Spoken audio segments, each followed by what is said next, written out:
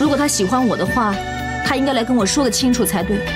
如果他说得出口的话，他也就不用那么烦了。现在皇上一直在留意你，而且你也想离开，如果再不说就没有机会了。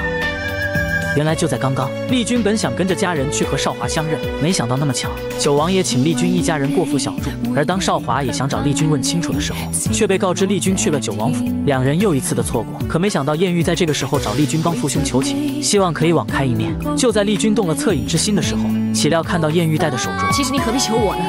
要求就去求送给你这个玉镯的人。也许冥冥之中自有天意。就在丽君误会离开之后，少华出现，接着艳遇只能向少华求助。少华顾念艳遇的恩情，决定向铁木儿求情。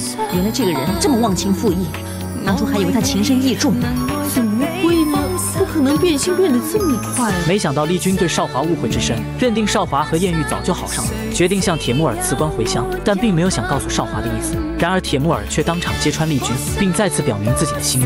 没想到就在这时，刚得知自己怀孕的皇后，兴奋的想把这个消息亲口告诉铁木儿。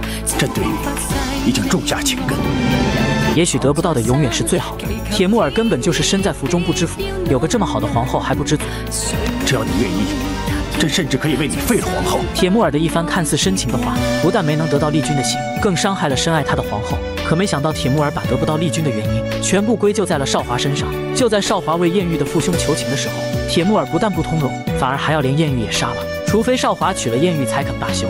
既然你如此关心刘家姑娘，朕就不如做个顺水人情，替你赐婚。你觉得如何？没办法，少华和父亲决定找孟父退婚，迎娶艳遇。而此时的丽君因为误会少华，闷闷不乐。细心的映雪看出了丽君的心思，劝解丽君不要因为一个手镯就这么放弃，让丽君去找少华问清楚。就在这时，少华父子邀孟父过府相聚，准备说退婚的事。丽君准备趁此机会和少华相认。你说有话要跟我说，你好像也有话要跟我说。我要说的话很长，你先说。我要成亲了。丽君还以为少华指的是要和丽君成亲了，甜在心里。没想到就在这时，铁木儿让人送来了很多贺礼，祝贺少华和艳遇大婚。丽君惊呆，就差那么一步，两人终是没有相认。你真的要娶刘艳遇为妻？